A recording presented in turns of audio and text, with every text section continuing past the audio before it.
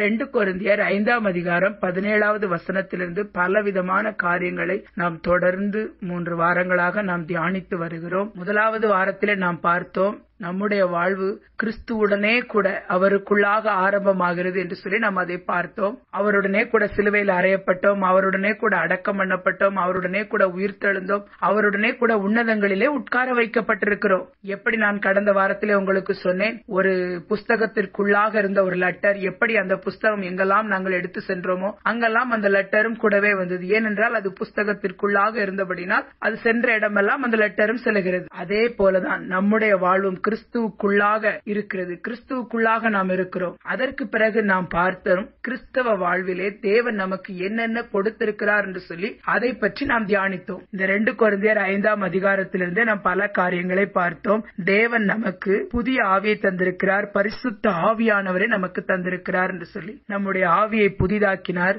நம்மை நீதிமான்களாக்கினார் அவருடைய அன்பை நமக்கு தந்தார் அவருடைய அன்பு நமக்குள்ளாக ஊற்றப்பட்டிருக்கிறது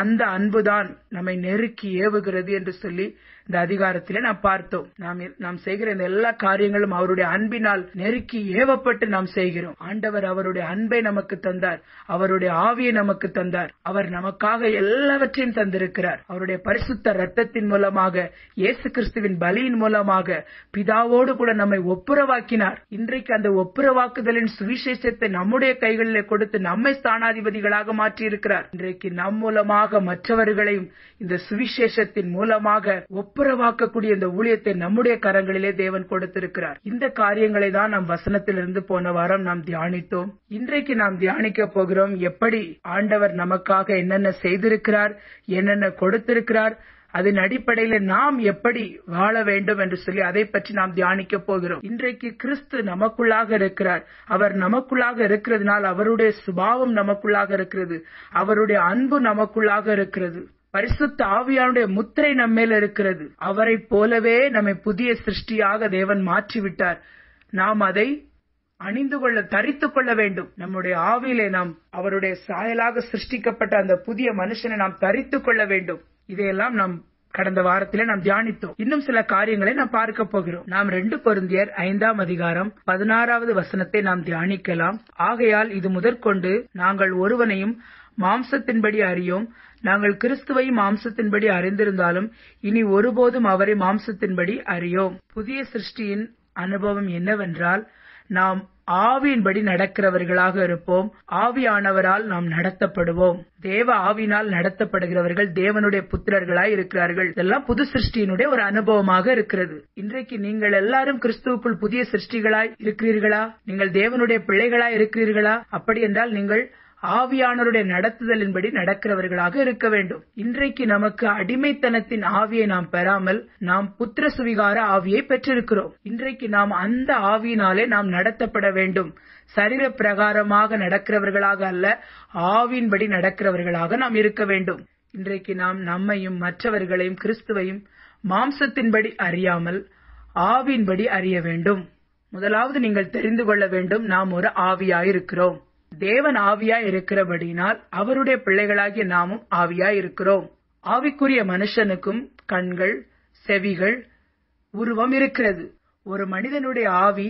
அவனுடைய அவனைப் போலவே இருக்கிறது எப்படி ஒரு மனிதன் மறிக்கிறான் மறிக்கும் பொழுது அவனுடைய ஆவி அவனை விட்டு வெளியே வருகிறது அது அவனைப் போலவே இருக்கிறது எப்படி நாம் சரித பிரகாரமான கண்களின் மூலமாக நாம் பார்க்கிறோம் நாம் உணர்கிறோம் கேட்கிறோம் அதே போல அந்த ஆவிக்குரிய மனிதனுக்கும் கேட்க முடியும் பார்க்க முடியும் உணர முடியும் பேசவும் முடியும் உங்களுக்கு தெரியுமா லூக்கா பதினாறாவது அதிகாரத்திலே ரெண்டு பிச்சைக்காரர்களுடைய கதை ஒரு மனிதன் இந்த பூமியிலே தரித்திரனாக பிச்சை கேட்கிறவனாக இருக்கிறான் ஆனால் இன்னொருவன் நரகத்திலே சென்று அவன் பிச்சை கேட்கிறவனாய் இருக்கிறான் இது எல்லாருக்குமே நமக்கு தெரிந்த ஒரு கதை அந்த பூமியிலே தரித்திரனாக இருந்தவன் அந்த லாசரு பிறகு மறித்த பிறகு தரித்திரனாக பிச்சை கேட்கிறவனாக இருக்கிறான் அந்த ஐஸ்வர்யவான் என்று சொல்லி இந்த கதையிலே நான் பார்க்கிறோம் அந்த ஐஸ்வர்யவான் இப்படியாக மறித்து அவன் பாதாளத்திலே சென்று அவன் வேதனைப்படும் பொழுது அவன் இப்படியாக தன் கண்களை ஏறெடுத்து அவன் பார்த்து ஆபரகாமை பார்த்து அவன் சொல்லுவான் தகப்பனே என்னுடைய சகோதரர்களிடத்திலே யாரையாவது அனுப்பும் என்று சொல்லி அவன் சொல்லுகிறதை நாம் பார்க்கிறோம் அதே போல நாமும் மறித்து பரலோகத்திற்கு போன பிறகு நமக்கு தெரியும் எலியா யார் எலிசா யார் மோசே யார் என்று சொல்லி நாம் பார்த்த உடனே நாம் அறிந்து கொள்வோம் இது ஒரு ஆவிக்குரிய ஞானமாக இருக்கிறது ஆவியிலே நாம் உணர்ந்து கொள்வோம் அறிந்து கொள்வோம் நாம் பார்ப்போம் எப்படி அந்த ஐஸ்வர்யவான் ஆபரகாம் இடத்திலே சொல்லுகிறான் ஆபரகாமை பார்த்து அவன் சொல்லுகிறான் தகப்பனே லாசருவை அனுப்பும் என் சகோதரர்களிடத்திலே என்று சொல்லி அவன் சொல்லுகிறான் எனக்கு ஐந்து சகோதரர்கள் உண்டு அவர்களும் இந்த இடத்துக்கு வராதபடி அவர்களிடத்திலே சென்று இவன் சாட்சியாக அறிவிக்கும்படி இவனை அனுப்பும் என்று சொல்லி அந்த இடத்தில் அவன் வேண்டிக் கொள்ளுகிறதை நான் பார்க்கிறோம் அவனுக்கு ஞாபகமும் இருக்கிறது அவன் அந்த இடத்துல கேட்கிறான் ஐயோ எனக்கு தாகமாக இருக்கிறது லாசருவின் விரல் நுனியை தொட்டு அந்த தண்ணீரை எனக்கு தாருங்கள் என்று சொல்லி அவன் கேட்கிறான் அவனுக்கு உணர்வுகளும் இருக்கிறது இன்றைக்கு அநேக பேருக்கு இந்த காரியம் தெரிவதில்லை வெளிப்பிரகாரமாக தெரிகிற இந்த சரித பிரகாரமாக தோன்றுகிற இந்த கண்கள் இந்த செவிகள் இதுதான் இதுதான் என்று சொல்லி நினைத்து விடுகிறார்கள் ஆனால் ஆவிக்குரிய ஒரு மனிதன் உண்டு ஆவிக்குரிய மனிதனுக்கும் இவையெல்லாம் உண்டு என்று சொல்லி யாராலும் புரிந்து கொள்ள முடியவில்லை ஆனால் இன்றைக்கோ நாமோ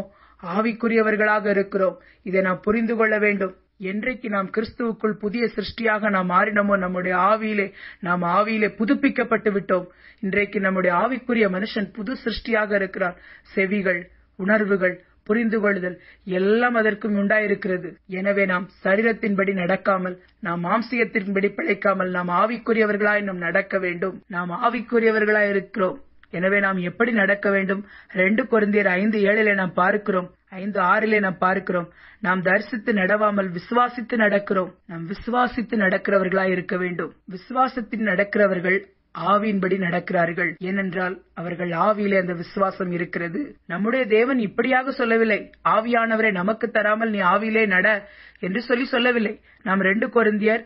ஐந்து ஐந்துல நாம் பார்க்கிறோம் இதற்கு நம்மை ஆயத்தப்படுத்துகிற தேவன் அவரே இதற்கு நம்மை ஆயத்தப்படுத்துகிறவர் தேவனே ஆவி என்னும் அச்சாரத்தை நமக்கு தந்தவரும் அவரே என்று சொல்லி நாம் பார்க்கிறோம் நம்முடைய தேவன் அவருடைய ஆவியை நமக்கு தந்திருக்கிறார் நீங்கள் யாரையும் சரீரத்தின்படி பார்க்காதீர்கள் இவர் மிகவும் அழகாக இருக்கிறார்கள் நன்றாக பேசுகிறார்கள் ஞானமாக நடந்து கொள்கிறார்கள் என்று சொல்லி நீங்கள் சரீர பிரகாரமாக அவர்களை பார்த்து நீங்கள்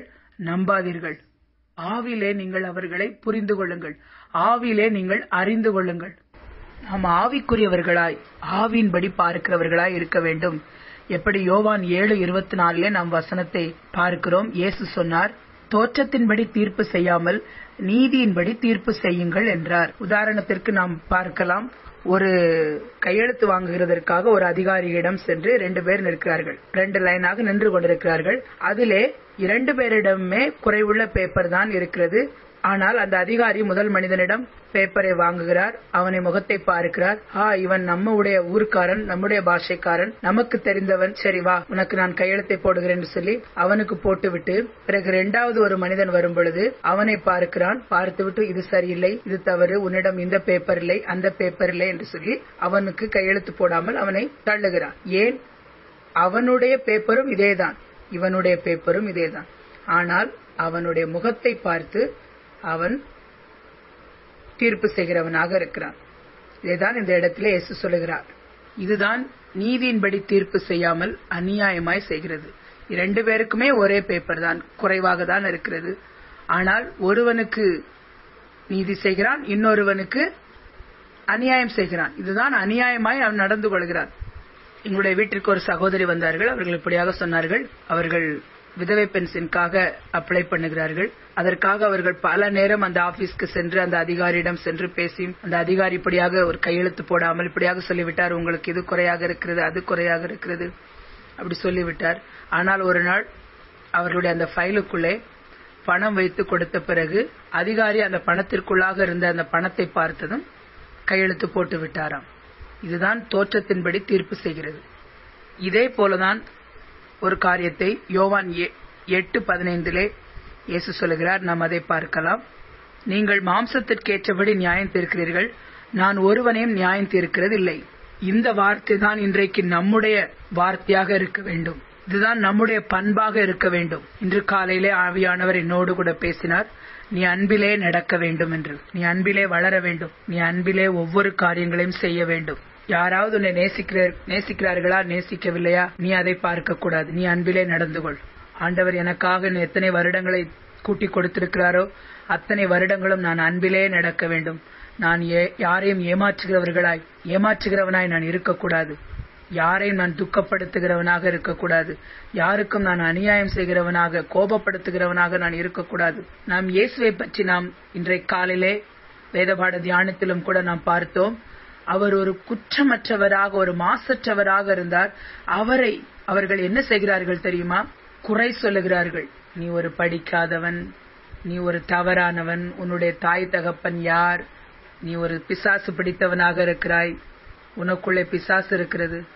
நீ பொய் சொல்லுகிறவன் நீ பைத்தியம் பிடித்தவன் என்று சொல்லி பலவிதமான குற்றச்சாட்டுகளை இயேசுவின் மேல் அவர்கள் சொல்லுகிறதை நாம் பார்க்கிறோம் இப்படியெல்லாம் குறை சொல்லிவிட்டு அந்த இடத்திலே நாம் பார்க்கிறோம் ஒரு பாவியாகிய ஸ்திரியை விபச்சார ஸ்திரியை இயேசுவின் இடத்திலே அவர்கள் கொண்டு வருகிறார்கள் ஆனால் அந்த இடத்திலே யாரையும் இயேசு குற்றப்படுத்தாமல் அந்த இடத்திலே அந்த பாவியாகிய ஸ்திரி அவர் மன்னிக்கிறதை நாம் பார்க்கிறோம்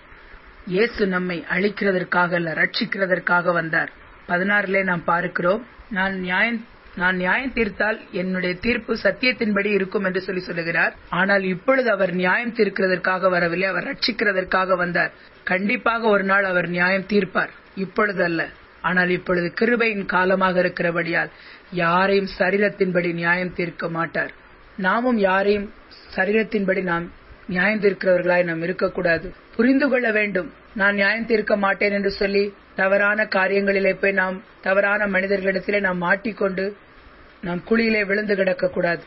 ஆவியிலே நாம் பகுத்தறிய வேண்டும் பகுத்தறிவுள்ளவர்களாய் நாம் நடந்து கொள்ள வேண்டும் இவர்கள் என்ன ஆவியுடையவர்களாய் இருக்கிறார்கள் எப்படிப்பட்ட நோக்கத்தோடு பேசுகிறார்கள் இதையெல்லாம் நாம் பகுத்து அறிய வேண்டும் இது ஒரு வரமாக இருக்கிறது சில நேரம் நல்ல மனிதர்களாக கூட இருக்கலாம் அவர்கள் மூலமாக கூட கெட்ட காரியங்கள் வரலாம் நாம் அதை அறிந்து கொள்ள வேண்டும் என்ன ஆவியுடையவர்களா இவர்கள் பேசுகிறார்கள் என்ன நோக்கத்தோடு பேசுகிறார்கள் சொல்லி இதை நாம் ஆவியிலே பகுத்தறிய வேண்டும் இது ஆவிக்குரிய காரியமா இல்ல இவர்கள் சரீர பிரகாரமாக பேசுகிறார்களா இதை நாம் அறிந்து கொள்ள வேண்டும் இது ஒரு ஆவிக்குரிய மனிதனுடைய ஒரு ஆசிர்வாதமாக இருக்கிறது இது எல்லாருக்குள்ளும் புது சிருஷ்டிக்குள்ளாக இருக்கிறது ஆவிகளை பகுத்தறியக்கூடிய இந்த காரியம் எல்லாருக்குள்ளும் தேவன் அந்த ஞானத்தை தந்திருக்கிறார் புதிய புதிதாக வந்த விசுவாசிகளாக இருந்தாலும் சரி பெரியவர்களாக ஏற்கனவே பல ஆண்டுகளாக விசுவாசிகளாக இருந்தாலும் சரி இதையெல்லாம் பார்க்க வேண்டும் இதையெல்லாம் பார்க்க கூடாது மொபைல்ல இது சரி இது தவறு என்று சொல்லி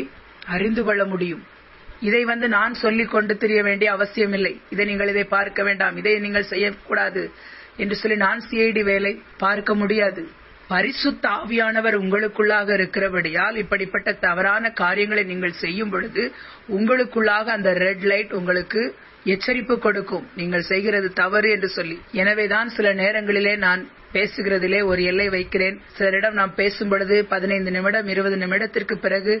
நம்முடைய பேச்சு தொடர்ந்து கொண்டிருக்கும் பொழுது அங்கே ஏதாவது ஒரு சரீர பிரகாரமான வேறு காரியங்கள் அங்கே இவர்களை பற்றி அவர்களை பற்றி ஏதாவது பேச ஆரம்பித்து விடுகிறோம் எனவே நாம் கவனமாக இருக்க வேண்டும் எனவேதான் நாம் ஆவியின்படி நடக்க வேண்டும் ஆவிக்குரிய பார்வை நமக்கு வேண்டும் ஆவிக்குரிய சிந்தையுள்ளவர்களாய் நாம் இருக்க வேண்டும் ஆவியின்படி பேச வேண்டும் ஆவிக்குரிய ஊழியம் செய்ய வேண்டும் ஊழியம் கூட சரீர பிரகாரமாக செய்ய முடியும் தண்டனை கொடுக்க முடியும் சபிக்க முடியும் நாம் கண்டித்து அவர்களை எப்படியாவது நம்முடைய பலத்தினால் அவர்களை நாம் திருத்திவிட திருத்திவிடலாம் என்று முயற்சி செய்ய முடியும் அவர்களை நியாயம் தீர்க்க முடியும் இதெல்லாம் சரீர பிரகாரமான ஊழியமாக இருக்கிறது ஆனால் இயேசு சொல்கிறார் நான் யாரையும் நியாயம் தீர்க்கவில்லை யாரையும் தோற்றத்தின்படி நாம் நியாயம் செய்கிறவர்களாக இருக்கக்கூடாது நாம் ஆவிக்குரிய பிள்ளைகளாய் ஆவியின்படி நாம் நடக்கிறவர்களாய் நீதி செய்கிறவர்களாய் நாம் இருக்க வேண்டும் சரியானபடி புரிந்து கொள்ள வேண்டும் எப்படி பரிசெயர்கள் இயேசுவை பார்த்து கேட்கிறார்கள் நீ எங்கே பிறந்தாய் சில நேரங்களிலே நாம் பார்க்கிறோம் முட்டாள்களாக இருக்கிறவர்கள் முட்டாள்தனமான கேள்விகளை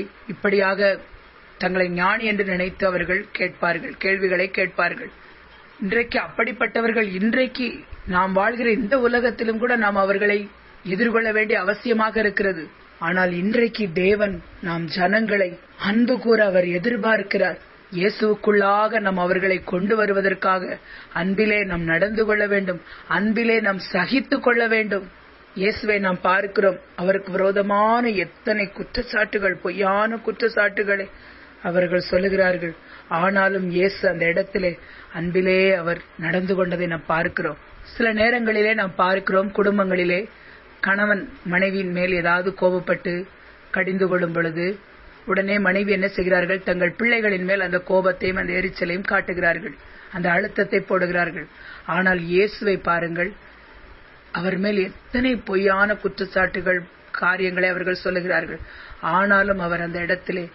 அன்பாய் நடக்கிறதை நாம் பார்க்கிறோம் அப்படிப்பட்ட அவர்கள் பொய்யான அந்த காரியங்களை பேசிக் கொண்டிருந்த அந்த வேளையிலே ஒரு விபச்சார ஸ்திரியை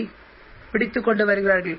ஆனாலும் அந்த இடத்திலும் கூட இயேசு நீதியின்படி அவர் தீர்ப்பு செய்கிறதை நாம் பார்க்கிறோம் அவர் அந்த ஆத்மாவை ரட்சிக்கிறார் அவர் சொல்லுகிறார் நான் சரீரத்தின்படி யாரையும் நான் நியாயத்திருக்கிறதில்லை சில நேரங்களிலே நமக்கு ஏதாவது அநியாயம் நடக்கும் பொழுது நாமும் மற்றவர்களிடத்திலே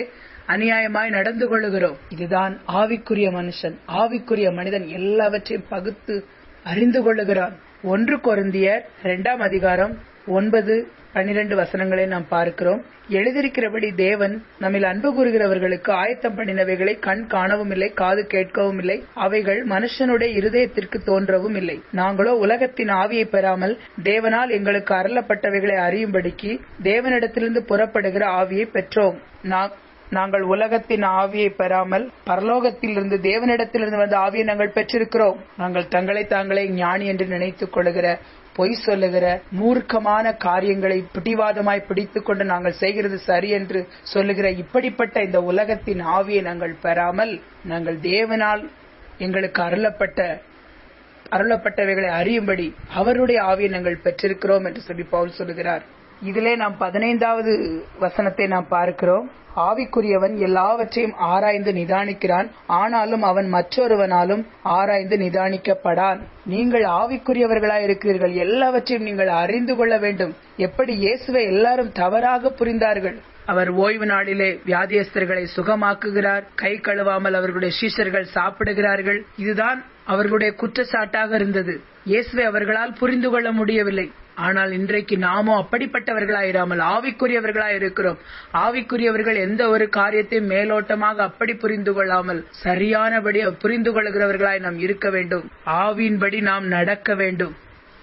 ஆவிக்குரியவன் எல்லாவற்றையும் நிதானித்து ஆராய்ந்து கொள்கிறவர்களாய் இருக்க வேண்டும் கடந்த வாரத்திலே நாம் பார்த்தோம் கிறிஸ்துவுக்குள் புது சிருஷ்டியா இருக்கிற நமக்கு என்னென்னலாம் கிடைத்திருக்கிறது தேவனுடைய நீதி நமக்கு கிடைக்கப்பட்டிருக்கிறது புதிய ஆவி பரிசுத்த ஆவி நமக்கு கிடைக்க கிடைக்கப்பட்டிருக்கிறது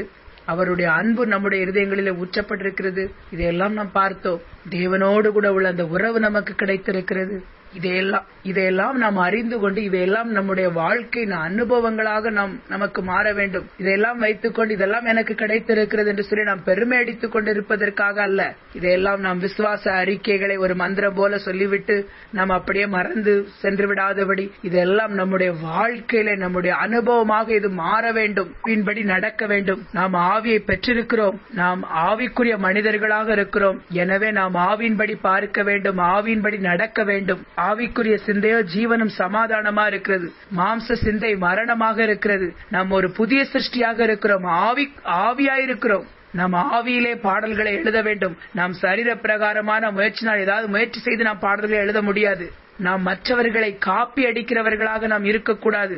நமக்கு கொடுத்திருக்கிற வரங்களை நாம் பார்க்க வேண்டும் அதிலே நாம் பிரகாசிக்க வேண்டும் மற்றவர்களை நாம் பார்த்து காப்பி அடிக்க கூடாது ஆவியின்படி நடக்கிறவர்கள் போட்டி போட்டுக் கொண்டு நிற்க மாட்டார்கள் இயேசு கிறிஸ்துவிடமும் வந்து ஜனங்கள் இப்படியாக அவரை போட்டி போட வைக்கிறார்கள் பாருங்கள் என்று சொல்லி யோவான் இடத்திலே சென்று சொல்லுகிறார்கள் உமக்கு பின்னாக வந்த இயேசு அவர் இத்தனை பேரை அவர் ஞானஸ்நானம் கொடுக்கிறார் என்று சொல்லி ஆனால் யோவான் அதை எப்படியாக புரிந்து கொள்கிறார் பரவாயில்ல என்னை விட அவர் பெரியவரா இருக்கிறாரே என்னிலும் அவர் வல்லவரா இருக்கிறாரே அவர் பரிசுத்த ஆவினால் நிறைந்த அவர் பரிசுத்த ஆவினால் அவர் ஞானஸ்நானம் கொடுக்கிறார் என்று சொல்லி அவர் அவரை பற்றி அப்படியாக அவர் எண்ணுகிறார் யோவானுக்குள்ளாக இப்படிப்பட்ட எண்ணம் இருந்தது அவர் பெருகவும் நான் சிறுகவும் வேண்டும் என்று போட்டி பொறாமை போட வைக்கிற இப்படிப்பட்ட இந்த எண்ணங்கள் எல்லாம் இது ஒரு சரீர பிரகாரமான எண்ணங்களாக இருக்கிறது சபையிலே ஆவிக்குரிய மனிதன் எல்லாவற்றையும் அவன் நிதானித்து ஆராய்ந்து கொள்கிறான் ஆவிலே ஆராய்ந்து நிதானிக்க வேண்டும் என்று சொல்லி நான் ஒவ்வொருவரையும் சிஐடி பண்ண வேண்டும் என்று சொல்லி சொல்லவில்லை உங்களுக்கு முன்பதாக வருகிறவர்கள் அவர்கள் என்ன நோக்கத்தோடு உங்களிடத்தில் பேசுகிறார்கள் என்ன நோக்கத்தோடு இதை செய்கிறார்கள் என்று சொல்லி ஆவிலே நீங்கள் அதை புரிந்து கொள்ள முடியும் இதுதான் ஆவியின் பகுத்தறிதல் அப்படி நீங்கள் ஆவியிலே புரிந்து கொண்டு நீங்கள் உங்களையும் காப்பாற்ற வேண்டும் மற்றவர்களையும் நீங்கள் தப்புவிக்கிறவர்களாக இருக்க வேண்டும் ஏன் இயேசு ஜனங்களை கடிந்து கொண்டார் திட்டினார் ஏன் அவர்களை தப்புவிப்பதற்காக அவர்களை அழிக்கிறதற்காக அல்ல நான் சத்தியத்தின்படி சாட்சி சொல்லுகிறேன் நான் உங்களை தப்புவிப்பதற்காக என்று சொல்லி அவர் சொல்லுகிறதை நான் பார்க்கிறோம் ஜனங்களை நரகத்திலிருந்தும் பாவத்திலிருந்தும் தப்புவிப்பதற்கு இப்படிப்பட்ட காரியங்களை நாம் சொல்ல வேண்டும் இது ஒரு ஆவிக்குரிய ஒரு விதமாக இருக்கிறது நான் ஃபேமஸ் ஆக வேண்டும் எனக்கு நிறைய கூட்டம் வேண்டும் என்று சொல்லி இப்படி எண்ணுவது எப்படிப்பட்ட ஒரு எண்ணமாக இருக்கிறது இது ஒரு சரீர பிரகாரமான எண்ணமாக இருக்கிறது எப்படிப்பட்ட சிந்தை நல்லது ஆவிக்குரிய சிந்தை தான் நல்லதாக இருக்கிறது புது துருத்தியிலே புது ரசத்தை வார்த்து வையுங்கள் என்று சொல்லி இயேசு சொன்னார் பழைய துருத்தியிலே புது ரசத்தை ஊற்ற வேண்டாம் அதே போலதான் ஆவிக்குரிய மனிதன் ஆவியிலே அவன் நடக்க வேண்டும் சரித பிரகாரமான எண்ணங்களை நீங்கள் போடாதீர்கள் இந்த நாட்களிலே பேஸ்புக் இப்படிப்பட்ட காரியங்களிலே நாம் கவனமாக இருக்க வேண்டும் எனக்கு மிகவும் வருத்தமாக இருக்கிறது இன்றைக்கு அநேக வாலிப பிள்ளைகள் இப்படிப்பட்ட இந்த காரியங்களுக்குள் அவர்கள் அடிமையாகி கிடக்கிறார்கள் பயமாக இருக்கிறது வாலிபர்கள் எப்படிதான் அவன் ஒரு எளிதாக அப்படியே ஒரு வலைக்குள்ள அவன் மாட்ட வைக்கிறான் நமக்கே தெரியாது பிறகு அது ஒரு கண்ணியாக நமக்கு மாறிவிடுகிறது நாம் கவனமாக இருக்க வேண்டும் இப்படிப்பட்ட காரியங்களிலே ஆவியின்படி நாம் நடக்க வேண்டும் பரிசுத்த ஆவியானவர் நமக்கு கற்றுத் தருவார் இதை நீ செய்ய வேண்டும் இதை நீ செய்யாதே இதை பார் இதை பார்க்காதே என்று சொல்லி எல்லா காரியங்களையும் அவர் நமக்கு கற்றுத்தருகிறார் அவருடைய கரங்களில் நாம் ஒப்புக் கொடுக்க வேண்டும் நம்மிடத்திலே சமயம் இல்லை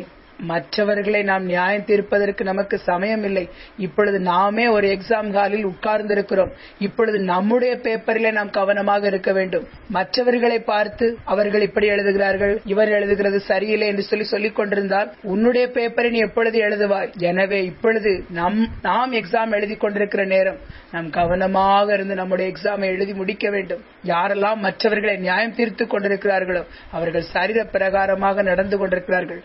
அவர்கள் பெருமை இருக்கிறதுனால் பெருமை உள்ளவர்களாக அவர்கள் இருக்கிறதுனாலே இப்படிப்பட்ட நியாயம் இருக்கிற காரியங்களை அவர்கள் செய்து கொண்டிருக்கிறார்கள் அப்படிப்பட்ட பெருமை பிடித்தவர்கள் இப்படியாக சொல்வார்கள் நான் நல்லவன் அவன் செய்கிறது தவறு அவன் கண்டிப்பாக நரகத்துக்கு தான் போவான் என்று சொல்லி இன்றைக்கு நாம் பார்க்கிறோம் இத்தனையோ ஐம்பது அறுபது வருட காலங்களாக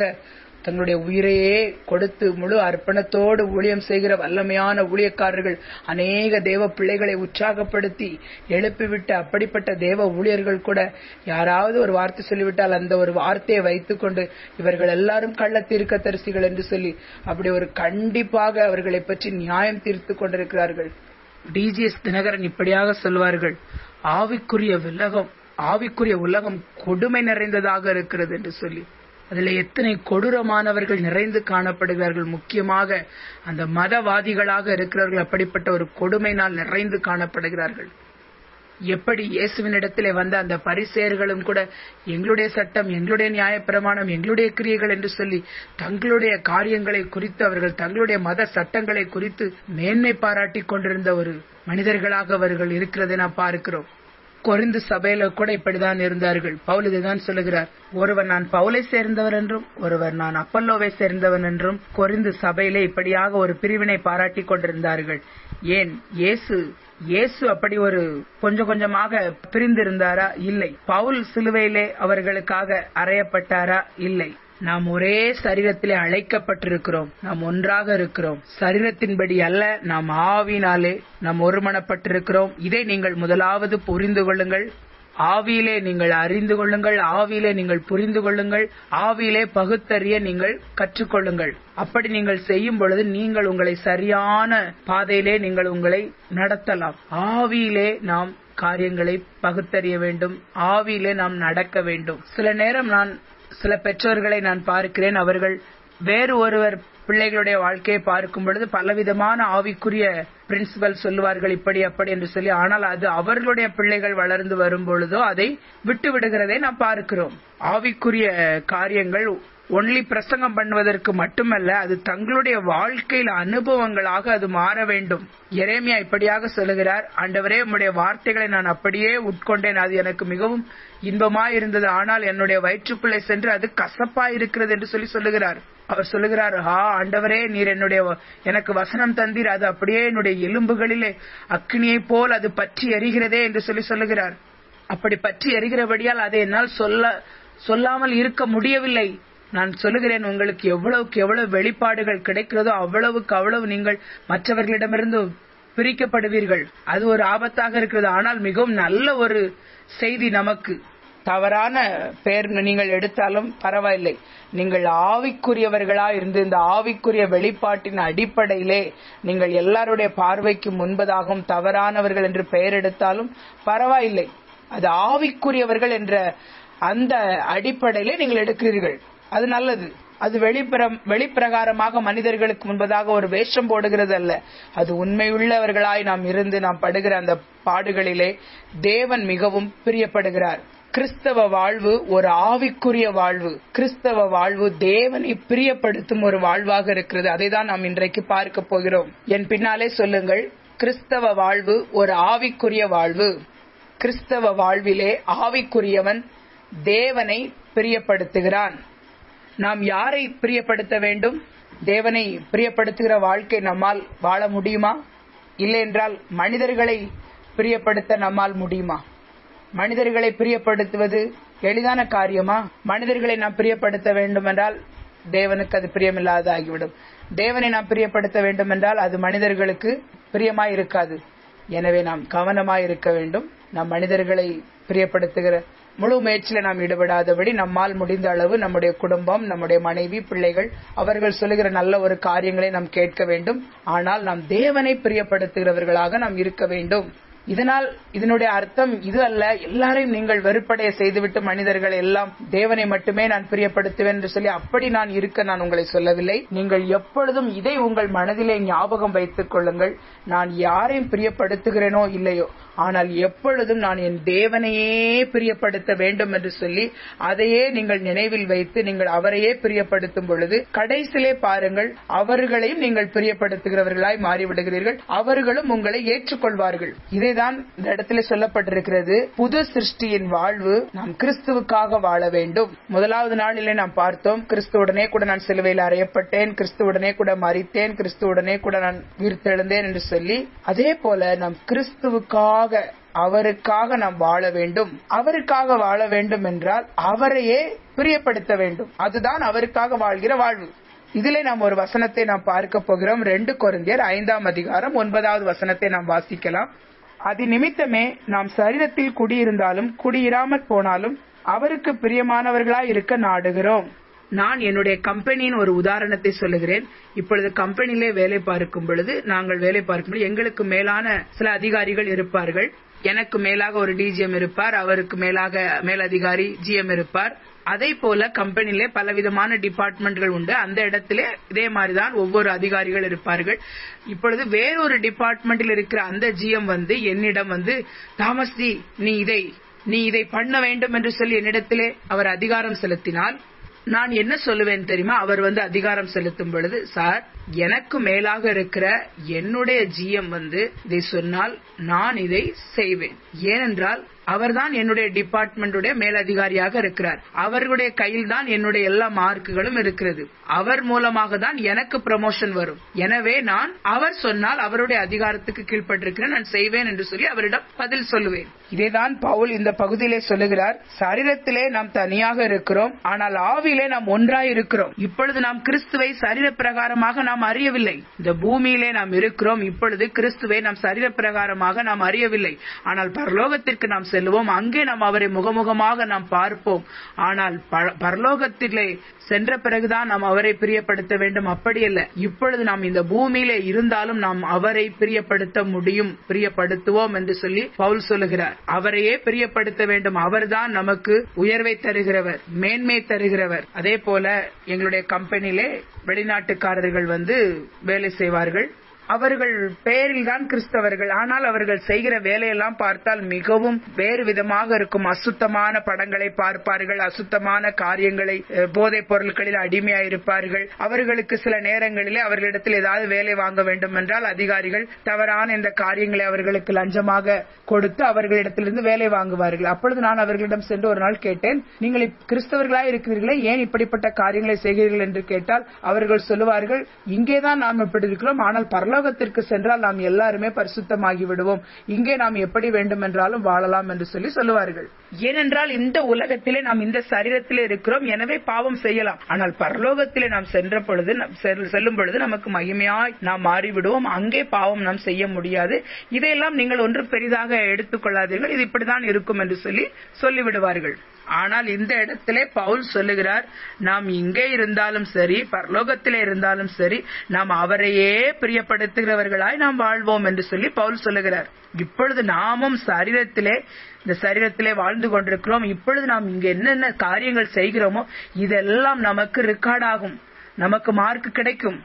எனவே நாம் தேவனை பிரியப்படுத்துகிறவர்களாக நாம் இருக்க வேண்டும் மனிதர்களை பிரியப்படுத்துவது என்பது ஒரு முடியாத ஒரு காரியமாக இருக்கிறது ஆனால் தேவனை நாம் பிரியப்படுத்தும் பொழுது அது நமக்கு மிகவும் லாபமாக இருக்கிறது இதே மாதிரி பதிலை தான் இயேசு சொல்லுகிறார் யோவான் எட்டு இருபத்தி ஒன்பதுல நாம் வாசித்தால் தெரியும்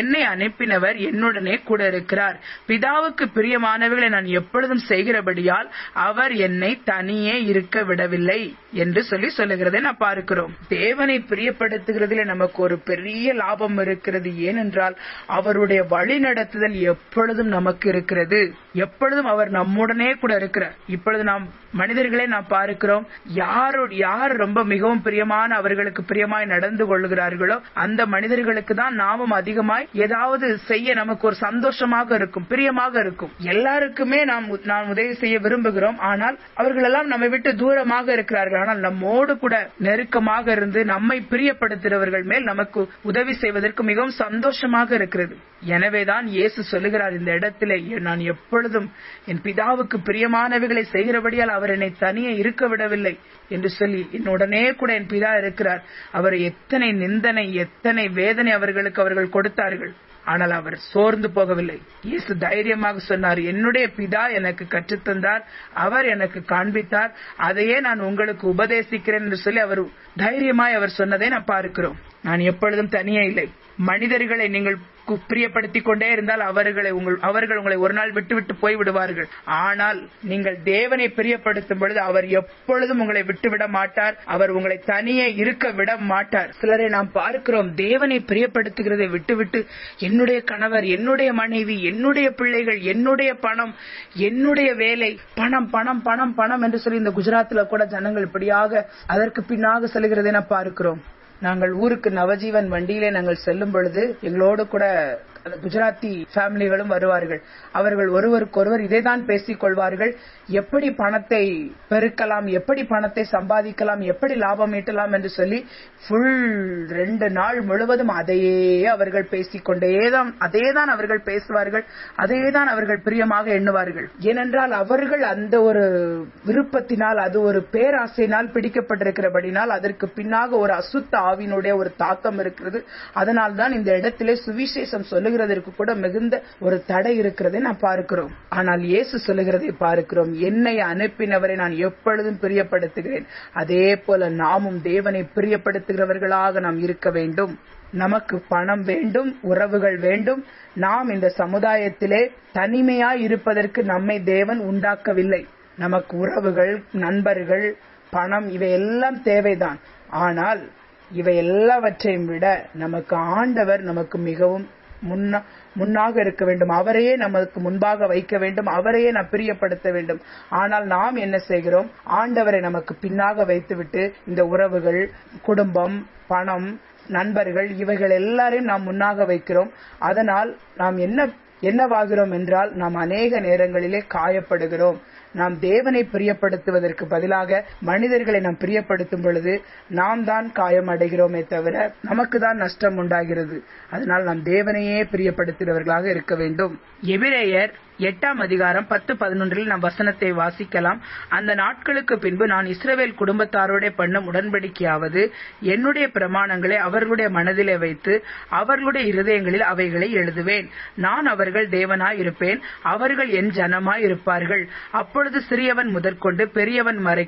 பெரியவன் வரைக்கும் எல்லாரும் என்னை அறிவார்கள் ஆகையால் கர்த்தரை அறிந்து கொள் என்று ஒருவன் தன் அயலானுக்கும் ஒருவன் தன் சகோதரனுக்கும் போதிக்க வேண்டுவதில்லை புதிய ஏற்பாட்டிலே புதிய சிருஷ்டியிலே இது ஒரு ஆசிர்வாதம் சிறுவர்கள் முதற்கொண்டு பெரியவர் வரைக்கும் எல்லாரும் அறிந்து கொள்வார்கள் ஆவியிலே ஏனென்றால் ஆண்டவர் சொல்லுகிறார் நான் என்னுடைய வசனங்களை புஸ்தகத்தில் அல்ல அவர்களுடைய இருதயங்களிலே எழுதுவேன் என்று சொல்லி சொல்லுகிறார் ரெண்டு குழந்தையர் மூன்று மூன்றிலும் கூட இந்த காரியத்தை நாம் பார்க்கிறோம் ஏனெனில் நீங்கள் எங்கள் ஊழியத்தினால் உண்டாகிய கிறிஸ்துவின் நிருபங்களாய் இருக்கிறீர்கள் என்று வெளியரங்கமாய் இருக்கிறது அது மையினால் அல்ல ஜீவனுள்ள தேவனுடைய ஆவினாலும் கற்பலகைகளில் அல்ல இருதயங்களாகிய சதையான பலகைகளிலும் எழுதப்பட்டிருக்கிறது ஆவியினாலே எழுதப்பட்டிருக்கிறது நாம் பார்க்கிறோம் தேவனுடைய சித்தம் அங்கே எழுதப்பட்டிருக்கிறது இருதயமாகிய பலகையில எழுதப்பட்டிருக்கிறது இப்பொழுது நாம் பார்க்கிறோம் திருமணமான பிறகு கணவனுக்கு எது பிடிக்கும் என்று சொல்லி அந்த மனைவி அறிந்து கொள்ள வேண்டும் அதை அறிந்து கொள்ளாமல் அவருக்கு ரைஸ் பிடிக்கவே செய்யாது ஆனால் அதிகமான ரைஸை பொங்கி அவர்கள் அவருக்கு முன்பதாக வைத்தால் அவருக்கு எப்படி அது பிடிக்கும் எனவே நாம் முதலில் தெரிந்து கொள்ள வேண்டும் அவருக்கு என்ன பிடிக்கும் அதே போலதான் தேவனுடைய தேவனுக்கு எது பிரியும் அதை நாம் அறிந்து கொள்ள வேண்டும் நம்முடைய இருதயமாகிய பலகையிலே அது ஆவினாலே எழுதப்பட்டிருக்கிறது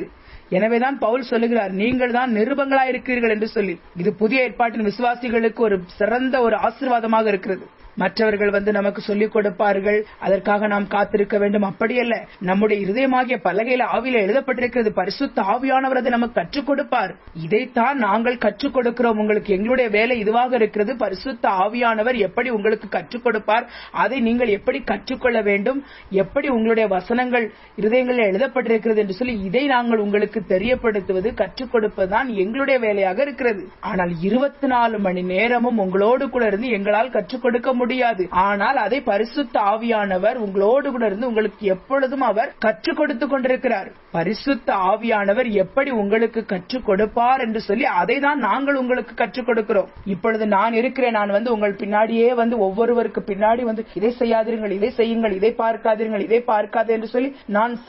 செய்ய முடியாது நான் சொல்ல முடியாது அதனால தான் பரிசுத்த ஆவியானவர் உங்களோடு கூட இருந்து உங்களுக்கு கற்றுக் கொடுக்கிறார் இது புதிய உடன்படிக்கையின் ஒரு ஆசிர்வாதமாக இருக்கிறது நம்முடைய இருதயமாகிய பலகையிலே வசனம் எழுதப்பட்டிருக்கிறது ஆவியிலே பரிசுத்த ஆவியானவரது நமக்கு கற்றுக் கொடுத்திருக்கிறார் கற்றுக் கொடுத்துக் கொண்டிருக்கிறார் இது பழைய ஏற்பாட்டின் விசுவாசிகளுக்கு இந்த ஆசீர்வாதம் கிடைக்கவில்லை ஆனால் புதிய ஏற்பாட்டின் பிள்ளைகளுக்கு நமக்கு இந்த ஆசீர்வாதம் கிடைத்திருக்கிறது எவ்வளவு பெரிய மோசேன் தீர்க்க மோசே தரிசி கூட கிடைக்கவில்லை ஆபரகாமுக்கு கூட இந்த ஆசிர்வாதம் கிடைக்கவில்லை இதெல்லாம் இயேசு கிறிஸ்துவின் மூலமாக நமக்கு உண்டாயிருக்கிற புதிய உடன்படிக்கையில் உள்ளா இருக்கிறவர்களுக்கு தான் இந்த ஆசிர்வாதம் கிடைத்திருக்கிறது மோசே ஆபரகாம் இவர்கள் எல்லாருமே நான் பார்க்கிறோம் இவர்கள் எல்லாம் மறித்து பரதீசில் தான் இருந்தார்கள் ஆனால் இயேசு கிறிஸ்து அவர் வந்து அவர் மறித்து அவர் அடக்கம் பண்ணப்பட்டு அவர் மூன்றாம் நாளில் உயிர்த்தெழுந்த பிறகு அவர்தான் இவர்களை எல்லாம் மீட்டு அவர் பரலோகத்திற்கு கொண்டு சென்றார் என்று சொல்லி நாம் பார்க்கிறோம் புதிய ஏற்பாட்டிலே பாருங்கள் எவ்வளவு ஒரு ஆசிர்வாதம் நமக்கு இருதயமாகிய பலகையிலே எழுதி கொடுக்கப்பட்டிருக்கிறது ஆவியினாலே ஆனால் அவர்களுக்கு கற்பலகையிலே எழுதி கொடுக்கப்பட்டிருந்தது தேவன் அதை அவர்களுக்கு கற்பலகையிலே எழுதி கொடுத்தார் அதை அவர்களுக்கு சொன்னார் இதை வாயிலே அவர்களுக்கு இருக்க வேண்டும் இதனுடைய நியாயப்பிரமாணத்தின் இந்த வார்த்தைகள் எப்பொழுதும் அவர்களுடைய வாயை விட்டு பிரியாது இருக்க வேண்டும் பாடல்களின் மூலமாக இதை அவர்கள் படித்துக் கொண்டே இருக்க வேண்டும் வசனங்களை அவர்கள் அவர்களுடைய வாயை விட்டு நீங்காதிருப்பதாக என்று சொல்லி தேவன் சொன்னார் ஆனால் அவர்கள் அதை வாயிலே வசனம் இருந்தது ஆனால் அவர்களுடைய இருதயத்திலிருந்து அந்த வசனம் வரவில்லை ஆண்டவரே நாங்கள் உம்மோடு கூட இருக்கிறோம் இருக்கிறோம் என்று சொல்லி சொன்னார்களே தவிர அது வாயில் தானே தவிர இருதயத்திலிருந்து அது வரவில்லை அதைதான் தேவன் சொல்கிறார் நீங்கள் நீங்கள் வாயினாலே என்னை துதிக்கிறீர்களே தவிர உங்களுடைய இருதயமோ என்னை விட்டு தூரமாக இருக்கிறது ஆனால் புதிய ஏற்பாட்டிலே நாம் ஒரு காரியத்தை பார்க்கிறோம் நாம் தேவனை பிரியப்படுத்த முடியும் யாருமே நாம் காரணம் சாக்கு போக்கு சொல்ல முடியாது நாம் யாருமே சொல்ல முடியாத ஐயோ எனக்கு இது தெரியாது பிரதர் எனக்கு தெரியாமல் நான் இதை செய்து விட்டேன் என்று சொல்லி சொல்ல முடியாது நீங்கள் அறிந்து கொள்ள வேண்டும் உங்களிடத்தில் ஞானம் இருக்கிறது உங்களிடத்தில் ஆவிக்குரிய ஞானம் இருக்கிறது ஆவிக்குரிய செவிகள் இருக்கிறது ஆவிக்குரிய கண்கள் இருக்கிறது இதை நீங்கள் அறிந்து கொள்ளுங்கள் புரிந்து கொள்ளுங்கள் வசனத்தின் ஞானத்தை பரிசுத்த ஆவியானவர் உங்களுக்கு கற்றுக் கொடுக்கிறார் ஒவ்வொரு புதிய விசுவாசிகளுக்கும் கூட அதை கற்றுக் கொடுக்கிறார் நான் எப்படி ஒரு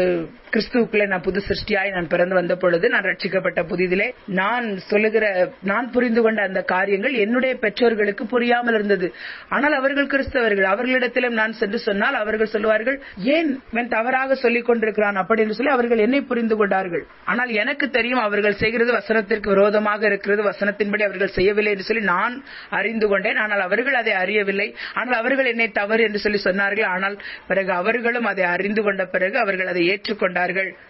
அந்த நாளிலே எனக்கு நடந்த அந்த காரியத்தை நான் சொல்லுகிறேன் உங்களுக்கு முன்பதாக ஞானவான்கள் போல் அவர்கள் தெரிவார்கள் படித்தவர்கள் எல்லாம் தெரிந்தவர்கள் போல் அவர்கள் தெரிவார்கள் ஆனால் ஆவியானவருடைய இந்த ஞானத்திற்கு முன்பதாக அதெல்லாம் ஒன்றுமில்லை படித்தவர்களாக இருந்தாலும் சரி படிக்காதவர்களாக இருந்தாலும் சரி நீங்கள் ஆவியானவர் உங்களுடைய இருதயமாகிய பலகையில எழுதுவதற்கு இந்த வார்த்தைகளை வசனங்களை எழுதுவதற்கு நீங்கள் விட்டுக் கொடுங்கள் அப்பொழுது அது ஒரு நாளும் உங்களை விட்டு அது விலகாது அந்த வார்த்தை உங்களை நடத்தும் ஆவியானவர் உங்களை நடத்துவார் நீங்கள் புஸ்தகங்களிலே எழுதி வைக்கலாம் ஆனால் அந்த புத்தகங்கள் கூட ஒரு நாள் பழையதாகிவிடும் ஆனால் இருதயத்தில் எழுதப்படுகிற அந்த வார்த்தைகள் ஒரு நாளும் அது அழியாது என்னிடத்தில் கூட அநேக புஸ்தகங்களிலே நானும் வசனங்களை அநேகம் எழுதி வைத்திரு வைத்திருக்கிறேன் என்னிடத்தில் உள்ளது பதினைந்து வருடங்களாக நான் எத்தனையோ வசனங்களை கேட்டு கேட்டு கேட்டு நான் வசனங்களை எழுதி ஒரு அலமாரி முழுவதும் நான் வசனத்தில் வசனத்தால் எழுதப்பட்ட அந்த டைரி நோட்டை நான் வைத்திருந்தேன் நாங்கள் அதை நான் அதை மிகவும் ஒரு ஆசிர்வாதமாக பொக்கிஷமாக நினைத்ததை நான் பாதுகாத்து வைத்திருந்தேன் ஆனால் அந்த டைரியிலே வசனங்களை எழுதி வைப்பதை விட நம்முடைய இருதயமாகிய பலகையிலே ஆவியானவர் எழுதுவதற்கு நாம் இடம் கொடுக்க வேண்டும் இருதயத்திலே என்னுடைய இருதயத்திலே அந்த வார்த்தைகள் எழுதியிருந்தபடியினால் தான் இன்றைக்கு எனக்குள்ளாக இருந்த ஜீவ ஊற்றது பாய்ந்து வருகிறது நான் இப்பொழுது என்னுடைய அந்த பழைய டைரிகள் எல்லாம் எடுத்து நான் பார்த்தேன் ஆண்டவர் எனக்கு இந்தந்த காரியங்கள் எல்லாம் இப்படி எப்படிலாம் எனக்கு கற்றுக் கொடுத்திருக்கிறார் எனக்கு வெளிப்படுத்துகிறார் என்று சொல்லி எனக்கு ஞாபகம் வருகிறது இதுதான் இருதயமாகிய பலகையில நம் ஆவியானவர் எழுதுவதற்கு நாம் இடம் கொடுக்கும் பொழுது அது ஒரு நாளும் நமக்கு மறந்து போகாது இதை நாம் இறைமையா முப்பத்தி ஒன்றாம் அதிகாரம் முப்பத்தி நான்காவது வசனத்திலே நாம் வாசிக்கலாம் இனி ஒருவன் தன் அயலானையும் ஒருவன் தன் சகோதரனையும் நோக்கி கர்த்தரை அறிந்துகொள் என்று போதிப்பதில்லை அவர்களில் சிறியவன் முதல் பெரியவன் மட்டும் எல்லாரும் என்னை அறிந்து கொள்வார்கள் என்று கர்த்தர் சொல்லுகிறார் நான் அவர்கள் அக்கிரமத்தை மன்னித்து அவர்களை பாவங்களை இனி நினையாதிருப்பேன் இதைத்தான் எபிரேயர் எட்டாம் அதிகாரத்திலே நாம் வாசித்தோம் இந்த இடத்திலே ஒரு உறவை நாம் பார்க்கிறோம் நான் அவர்கள் தேவனாயிருப்பேன் அவர்கள் என் ஜனங்களாயிருப்பார்கள் நாம் எரேமியா முப்பத்தி ஒன்று முப்பத்தி மூன்றுல நாம் இதை பார்க்கிறோம் அந்த ஒரு உறவை பற்றி தேவன் சொல்லுகிறதை நாம் பார்க்கிறோம் தேவன் வசனங்களை உங்களுடைய மனதில் எழுதி எழுதி வைக்கிறார் அவர் உங்களுக்கு புரிய வைப்பார் உங்களுக்கு கற்றுக் கொடுப்பார் அப்பொழுதுதான் நீங்கள் அவரை பிரியப்படுத்த முடியும் நீங்கள் இதை நீங்கள் புரிந்து கொள்ளுங்கள் பரிசுத்த ஆவியானவர் இருக்கிறாரே இன்ம நமக்கு வேறு எந்த பைபிள் போதகர்களும் பைபிளை கற்றுக் கொடுக்கிறவர்களும் வேண்டாம் என்று சொல்லி நீங்கள் எண்ணக்கூடாது அவர்களும் உங்களுக்கு இதைதான் ஆவியானவர் உங்களுக்கு கற்றுத்தருவார் என்று சொல்லி அவர்களும் உங்களுக்கு கற்றுக் கொடுப்பார்கள் என்னுடைய அர்த்தம் என்னவென்றால் நாங்கள் என்னதான் கற்றுக் கொடுத்தாலும் பரிசுத்த ஆவியான ஆவியானவர் உங்களுக்கு அதை கற்றுக் கொடுக்கிற வரைக்கும் வெளிப்பாடு உங்களுக்கு வருகிற வரைக்கும் அது உங்களுக்கு புரியாது பரிசுத்த ஆவியானவர் உங்களுக்கு கற்றுக் கொடுக்கும் பொழுது நீங்கள் எல்லாவற்றையும் நீங்கள் அறிந்து கொள்வீர்கள் அதுதான் நாம் ரெண்டு ஒன்று குறைந்தரை நாம் பார்க்கிறோம் ஆவிக்குரியவன் எல்லாவற்றையும் அறிந்து கொள்கிறான் என்று சொல்லி பரிசுத்த ஆவியனுடைய வெளிச்சத்தில் படிக்காதவர்கள் கூட அந்த ஞானத்தை பெற்றுக்கொள்கிறார்கள் பேதைகள் கூட ஞானம் அடைகிறார்கள் நாம் பாடல்கள் படிக்கிறோம் அல்லவா கண்களை தெளிவாக்குகிறது உடைய சத்தியம் என்று சொல்லி தேனிலும் இனிமையாக மதுரமாக இருக்கிறது கர்த்தருடைய வார்த்தை நீங்கள் வசனத்தை அதிகம் அதிகமாக உங்களுடைய புத்தகங்களில் எழுதுகிறீர்கள் தவறு அல்ல நீங்கள் எழுதி வையுங்கள் ஆனால் அதைவிட அதிகமாக உங்களுடைய இருதயமாகி அந்த பலகையில நீங்கள் எழுதி வையுங்கள் அதிலே நீங்கள் அதை ஸ்டோர் பண்ணி வையுங்கள் வசனம் உங்களுடைய இருதயத்திலே அது நிறைய வேண்டும் அதை நீங்கள் அடிக்கடி அதையே நீங்கள் தியானிக்க வேண்டும் அதையே நீங்கள் யோசிக்க வேண்டும் அதை உங்களுடைய வாழ்க்கையில நீங்கள் எடுத்து அப்ளை பண்ண வேண்டும் சில நேரங்களிலே பார்க்கிறோம் சிலர் மனிதர்கள் இப்படியாக பிரியப்படுகிறார்கள் ஒரு ஒரு நமக்கு ஒரு கையெழுத்து வேண்டும் கையெழுத்து வேண்டும் என்று சொல்லி ஒரு அதிகாரியிடத்திலே சென்று நாம் அவருக்கு லஞ்சம் கொடுக்கிறோம் நாம் எந்த மனிதனுக்கு நாம் ரெண்டு லட்சம் ரூபாய் நாம் லஞ்சம் கொடுத்து கையெழுத்து வாங்கினோமோ அவன் நாம் நினைத்தோம் அவர் கையெழுத்து போட்டு விட்டார் இனி வேலை கிடைத்து விடும் என்று சொல்லி ஆனால் கையெழுத்து கையெழுத்து வாங்கினவன் அவர் டிரான்ஸ்பர் ஆகிவிட்டார் ஆனால் நமக்கோ வேலை கிடைக்கவில்லை பிறகு நாம் மறுபடியும் அதே இடத்திற்கு சென்று அதே அதிகாரியை நாம் பார்க்க போகிறோம் ஆனால் லஞ்சம் முதலாவது வாங்கின அதிகாரி இல்லை இப்பொழுது வேறொரு அதிகாரி இருக்கிறார் பிறகு நாம் சொல்லுகிறோம் சார் நான் என்னுடைய அப்ளிகேஷன் இங்கே இருந்தது நான் வேலைக்காக நான் அப்ளை பண்ணியிருந்தேன் அந்த அதிகாரி என்னிடத்திலே ரெண்டு லட்சம் ரூபாய் வாங்கினார் கையெழுத்து போடுவேன் என்று சொல்லி அவர் சொல்லுவார் நீ அவனுக்கு அவரிடத்தில் நீ பணம் கொடுத்தால் அவரிடம் சென்று கையெழுத்து கேள் இப்பொழுது நீ என்னிடத்தில் கையெழுத்து வேண்டுமென்றால் எனக்கு பணம் தா என்று சொல்லி கேட்பார் அப்படி நாம் லஞ்சம் கொடுப்பது சரியா சரியல்ல வாங்குவதும் தவறு கொடுப்பதும் தவறு எப்படி குடிப்பதும் தவறு குடிக்க கொடுப்பதும் தவறு சமயங்களை வீணடிக்காதீர்கள் இதே போலதான் அநேகர் வாழ் வாழ்நாள் முழுவதும் மனிதர்களை பிரியப்படுத்துகிறதிலே தங்களுடைய சமயத்தை வீணடித்துக் கொண்டிருக்கிறார்கள் சில நேரங்களிலே சில மனிதர்கள் நான் பிடிவாதமாக இருக்கிறார்கள் நான் நேசிக்கவே மாட்டேன் இவனை இவளை என்று சொல்லி இப்படிப்பட்ட மனிதர்களும் கூட இருக்கிறார்கள் நீங்கள் என்னதான் அவர்களுக்கு செய்தாலும் அவர்களிடத்திலிருந்து உங்களுக்கு அன்பு கிடைக்கவே கிடைக்காது ஏனென்றால் அவர்கள் முதலாவது தீர்மானத்தோடு இருக்கிறார்கள் பிடிவாதத்தோடு இருக்கிறார்கள் நான் இவர்களை நேசிக்க மாட்டேன் என்று சொல்லி சில நேரங்களிலே மனிதர்களை பார்க்கிறோம் நாம் இப்படி வலதுபுறமாக சென்றால் இல்லை நீங்கள் இடதுபுறமாக செல்ல வேண்டும் அதுதான் சரி என்பார்கள் நாம் இடதுபுறமாக சென்றால் நீங்கள் வலதுபுறமாக செல்ல வேண்டும் அதுதான் சரி என்பார்கள் முன்னாடி சென்றால் சொல்வார்கள் நீங்க இந்த இடத்துல நிற்க வேண்டுமே நிற்கவில்லை என்பார்கள் நீங்கள் பின்னாடி சென்றால் சொல்வார்கள் முன்னாடி செல்ல வேண்டும் சொல்வார்கள் நின்றால் சொல்வார்கள் போக வேண்டும் என்று சொல்லி போனால் சொல்வார்கள் நிற்க வேண்டும் என்று சொல்லி இப்படிப்பட்ட மனிதர்கள் இருக்கிற இந்த உலகத்திலே நீங்கள் அவர்களை எப்படி பிரியப்படுத்த முடியும் பிரியப்படுத்தவே முடியாது உங்களுடைய நேரம் தான் வீண் இதான் நாம் பார்க்கிறோம் மனிதர்களை பிரியப்படுத்த முடியாது ஆனால் தேவனையும் இயேசு கிறிஸ்துவை நாம் பிரியப்படுத்த முடியும் இதுதான் நம் எசேக்கியல் புஸ்தகத்திலே நாம் பார்க்கிறோம் எசேக்கியல் தேர்ட்டி சிக்ஸ் டுவெண்டி ஃபைவ்ல இருந்து டுவெண்ட்டி செவன் வரைக்கும் நான் வசனங்களை வாசிக்கலாம் உங்களுக்கு நவமான இருதயத்தை கொடுத்து உங்கள் உள்ளத்திலே புதிதான ஆவியை கட்டளையிட்டு கல்லான இருதயத்தை உங்கள் மாம்சத்திலிருந்து எடுத்து போட்டு சதையான இருதயத்தை உங்களுக்கு கொடுப்பேன் உங்கள் உள்ளத்திலே என் ஆவியை வைத்து உங்களை என் கட்டளைகளில் நடக்கவும் என் நியாயங்களை கை கொள்ளவும் அவைகளின்படி செய்யவும் பண்ணுவேன் நான் உங்களுடைய உள்ளத்திலே என் ஆவியை வைத்து கட்டளைகளில் நடக்கவும் என் நியாயங்களை கை கொள்ளவும் அவைகளின்படி செய்யவும் பண்ணுவேன் என்று சொல்லி சொல்லுகிறார் பரிசுத்த ஆவியானவர் நம்மை நடத்துவார் நம்மை பலப்படுத்துவார் பரிசுத்த வழியிலே பரிசுத்த ஆவியானவர் மட்டும்தான் நம்மை நடத்தி செல்ல முடியும் ஒவ்வொரு நிமிடமும் அவர் நம்ம கற்றுக் கொடுப்பார் இது சரியானது இது சரியல்ல இது உனக்கு கசப்பு நல்லதல்ல கோபம் உனக்கு நல்லதல்ல வெறுப்பு உனக்கு நல்லதல்ல இதை விட்டுவிடு என்று சொல்லி பரிசுத்த ஆவியானவர் ஒவ்வொரு நிமிஷமும் நம்ம கற்றுக் கொடுப்பார் கிறிஸ்தவ வாழ்வு ஆவிக்குரிய வாழ்வு என்பது நாம் தேவனை பிரியப்படுத்துகிற ஒரு வாழ்வு பரிசுத்த ஆவியானவர் நமக்குள்ளாக இருப்பதனால் நாம் அவரை பிரியப்படுத்த முடியும் மூன்றாவது காரியம் என்னவென்றால் கிறிஸ்தவ வாழ்விலே மிகவும் முக்கியமான ஒரு காரியம் அது ஒரு சுபாவமாக இருக்கிறது அது என்னவென்று சொல்லி நாம் பார்ப்போம் கர்த்தருக்கு பயப்பட வேண்டும் சில நேரங்களில் ஜனங்கள் இதை தவறாக புரிந்து கொள்கிறார்கள் தேவன் அன்பானவர் அவர் நம்முடைய பாவங்களை எல்லாம் மன்னித்து விடுவார் எனவே நாம் குற்ற உணர்வோடு இருக்க வேண்டாம் நாம் பாவம் எல்லாம் செய்து கொண்டே இருப்போம் தேவன் நம்மை மன்னித்து விடுவார் என்று சொல்லி அப்படி அதை ஒரு எளிதாக எடுத்துக்கொள்ளக்கூடாது நாம் தேவனுக்கு பயப்பட வேண்டும் பயத்திலே ரெண்டு வகை இருக்கிறது ஒன்று அப்படியே பயந்து ஐயோ நான் இதை செய்து விட்டேன்னு இது பண்ண முடியும் அப்படி என்று சொல்லி பயந்து நாம் தேவனை விட்டு தூர போகிற ஒரு பயம் அல்ல ஒரு மரியாதையோடு தேவன் மேல் உள்ள அந்த அன்பினாலே வருகிற ஒரு கனத்துக்குரிய அந்த ஒரு பயம் நமக்கு வேண்டும் ஆதாம் ஏவாளை நாம் பார்க்கிறோம் அவர்கள் பாவம் செய்துவிட்டு தேவனை விட்டு பயந்து ஓடி ஒளிந்து கொண்டார்கள் நாம் அப்படிப்பட்ட பயத்தை பற்றி இந்த இடத்திலே பேசவில்லை தேவனை ஒரு மரியாதையோடு மரியாதைக்குரிய ஒரு பயம் ஒரு கனத்துக்குரிய அந்த ஒரு பயத்தை பற்றி இந்த இடத்திலே சொல்லுகிறது இப்பொழுது ஒரு மனிதர் உங்களிடத்தில் மிகவும் அன்பாக இருக்கிறார் என்று சொல்லி நீங்கள் அவரை மரியாதை இல்லாமல் அவர்களிடம் நடந்து கொள்வீர்களா இல்லை அல்லவா அவர் உன்னதமான தேவனாய் இருக்கிறார் அவர் நமக்காக தம்மை தம்மை தாமே தாழ்த்தி அவர் நம்மிடத்திலே அவர் வந்தார் என்பதற்காக அவரை நாம் மிகவும் ஒரு எளிதாக நாம் ஒரு கனவீனம் பண்ணக்கூடாது நாம் அவரை கனம் பண்ண வேண்டும் அப்படிப்பட்ட அந்த மரியாதைக்குரிய பயம் நாம் அவருக்கு கொடுக்க வேண்டும் அப்படிப்பட்ட பயத்தை தேவன் நம்மிடத்தில் விரும்புகிறார் அவரை கனப்படுத்த வேண்டும் அவரை பிரியப்படுத்த வேண்டும் அவருக்கு அப்படியே ஒரு மரியாதைக்குரிய அந்த பயத்தோடு அவர் நாம் அவரிடத்தில் நடந்து கொள்ள வேண்டும் நாம் ரெண்டு குரந்தியர் ஐந்தாம் அதிகாரம் பதினோராவது வசனத்தை நாம் வாசிக்கலாம் ஆகையால் கர்த்தருக்கு பயப்படத்தக்கதென்று அறிந்து மனுஷருக்கு புத்தி சொல்லுகிறோம் தேவனுக்கு முன்பாக வெளியரங்கமாய் இருக்கிறோம்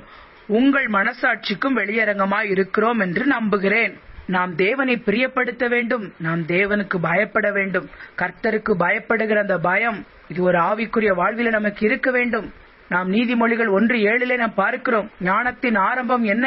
கர்த்தருக்கு பயப்படுதலே ஞானத்தின் ஆரம்பமாக இருக்கிறது நாம் இதைதான் நீதிமொழிகள் ஒன்று ஏழிலே பார்க்கிறோம் கர்த்தருக்கு பயப்படுதலே ஞானத்தின் ஆரம்பம் மூடர் ஞானத்தையும் போதகத்தையும் அசட்டை பண்ணுகிறார்கள்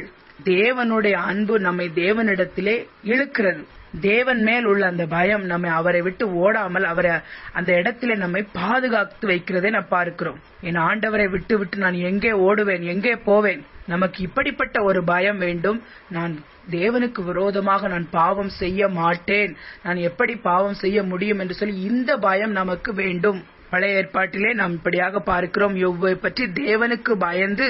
தீமையை விட்டு விலகுகிறவனாய் இருந்தான் யோபு இப்படிப்பட்ட ஒரு மனிதனாக இருந்தான் தேவனுக்கு பயந்து தீமையான வழிகளை விட்டு விலகுகிறவன் என்று சொல்லி பார்க்கிறோம் இப்படிப்பட்ட ஒரு ஆனந்தத்தோடு சந்தோஷத்தோடு அவருக்கு நாம் பயப்பட வேண்டும் இப்பொழுது நாம் கணவன் மனைவிக்குள்ளே பார்க்கிறோம் பெற்றோர் பிள்ளைகளுக்குள்ளே பார்க்கிறோம் நாம் அவர்களை கனப்படுத்துகிறோம் பயப்படுகிறோம் ஒரு மரியாதையோடு தான் அவர்களுக்கு நாம் பயப்படுகிறோம் அதே போலதான் நம்மை பாதுகாக்கிறார் நம்முடைய தேவன் அவர் ஒவ்வொரு நாளும் நம்மில் அன்போடு அவர் இருக்கிறார் அவரை நாம் எப்படி கனப்படுத்த வேண்டும் அந்த கனத்துக்குரிய அந்த மரியாதைக்குரிய பயம் நமக்குள்ளாக வேண்டும் தேவனை குறித்து நாம் ஒரு வசனத்தை பார்க்கலாம் ஏசாயா பதினோராவது அதிகாரம் ஒன்று ரெண்டு வசனங்கள் ரெண்டு மூன்று வசனங்களை நாம் படிக்கிறோம் ஞானத்தையும் உணர்வையும் அருளும் ஆவியும் ஆலோசனையும் பலனையும் அருளும் ஆவியும் அறிவையும் கர்த்தருக்கு பயப்படுகிற பயத்தையும் அருளும் ஆவியுமாகிய கர்த்தருடைய ஆவியானவர் அவர் மேல் தங்கியிருப்பார் கர்த்தருக்கு பயப்படுதல் அவருக்கு உகந்த வாசனையாயிருக்கும் இருக்கும் அவர் தமது கண் கண்டபடி நியாயம் தீர்க்காமலும் தமது காது கேட்டபடி தீர்ப்பு செய்யாமலும் இது இயேசுவை பற்றி சொல்லப்பட்ட ஒரு தீர்க்க தரிசனம் இயேசுவை பற்றி சொல்லப்பட்டிருக்கிறது அவருக்குள்ளே ஞானத்தை உணரும் உணர்வையும் அருளும் ஆவி ஆலோசனையும் பலனையும் இப்படியெல்லாம் சொல்லி வரும் பொழுது கர்த்தருக்கு பயப்படுதல் அவருக்கு ஒரு உகந்த ஒரு வாசனையாக ஒரு இருக்கும் என்று சொல்லி அந்த இடத்திலே சொல்லப்பட்டிருக்கிறது அது ஒரு ருசியாக இருக்குமாகும் அது ஒரு உகந்த ஒரு மனமாக இருக்கும் என்று சொல்லி சொல்லப்பட்டிருக்கிறது கர்த்தருக்கு பயப்படுதல் தான் நமக்கு ஆரம்பமாக இருக்கிறது அதுதான் நமக்கு ஒரு ஊற்றாக இருக்கிறது எனவே நாம் கர்த்தருக்கு பயந்து தீமையை விட்டு நாம் விலக வேண்டும் இதிலிருந்து தான் எல்லாம் ஆரம்பமாகிறது கர்த்தருக்கு நாம் பயப்படும் பொழுது நாம் அவரை பிரியப்படுத்துவோம் அவரை கனப்படுத்துவோம் அவரை அவரை சந்தோஷமாக நாம் ஒவ்வொரு நாளும் அவரை பிரியப்படுத்துவர்களாக இருப்போம் தீமையை விட்டு கண்டிப்பாக விலகுவோம் நான் இன்றைக்கு மூன்று காரியங்களை உங்களுக்கு கற்றுக் கொடுத்தேன் ஒரு ஆவிக்குரிய மனுஷனுக்குள் என்னென்ன காரியங்கள் இருக்கிறது இந்த இடத்திலே ஆண்டவருக்கு பயப்படுகிற மனுஷன் எப்படி இருப்பான் என்று சொல்லி முகத்தை பார்த்து அவன் நியாயம் செய்ய மாட்டான் என்று சொல்லி சொல்லியிருக்கிறது யாரெல்லாம் இன்றைக்கு ஒரு தைரியமாக மற்றவர்களை பற்றி நியாயம் தீர்த்து கொண்டிருக்கிறார்களோ அவர்களுக்கு தேவனை குறித்த பயம் சிறிதளவு கூட இல்லை அநேக ஊழியக்காரர்களுக்கு விரோதமாக தவறான குற்றச்சாட்டுகளை அவர்கள் சொல்லுகிறார்கள் காதுகளினால கேட்டு கண்ணார கண்டு அப்படி அவர் அவர்கள் நியாயம் தீர்க்க மாட்டார்கள் கர்த்தருக்கு பயப்படுகிறவர்கள் அதை நிதானித்து ஆராய்வார்கள் அதற்கு பிறகுதான் அவர்கள் பேசுவார்கள் ஒவ்வொரு காரியங்களையும் அவர்கள் நிதானித்து ஆராய்ந்து அவர்கள் அடியெடுத்து வைப்பார்கள் உடனே அவர்கள் கண்ணில் கண்டதை கேட்டதை நியாயம் தீர்க்க மாட்டார்கள் கர்த்தருக்கு பயந்து நம்முடைய நாவையும் ஒரு அடக்கிக் கொள்ள வேண்டும் நாம் ஒவ்வொரு முறையும் நாம் பேசும் பொழுது நியாயம் தீர்க்கிறவர்களாய் நாம் இராதபடி நாம் கவனத்தோடு நாம் பேச வேண்டும் அப்படியே நாம் தவறே செய்துவிட்டாலும் உடனே மன்னிப்பு கேட்டு அதை சரி செய்யுங்கள் நாம் ஜெபிக்கலாம் இன்றைக்கு தேவன் மூன்று காரியங்களை நமக்கு கற்றுக் கொடுத்திருக்கிறார் ஆவியிலே நாம் நடக்க வேண்டும் இன்னொன்று நாம் தேவனை பிரியப்படுத்த வேண்டும் நாம் கர்த்தருக்கு பயப்படுகிறவர்களாய் இருக்க வேண்டும் கர்த்தருக்கு பயப்படுதலே ஞானத்தின் ஆரம்பம் மூடர் ஞானத்தையும் போதகத்தையும் அசட்டை பண்ணுகிறார்கள்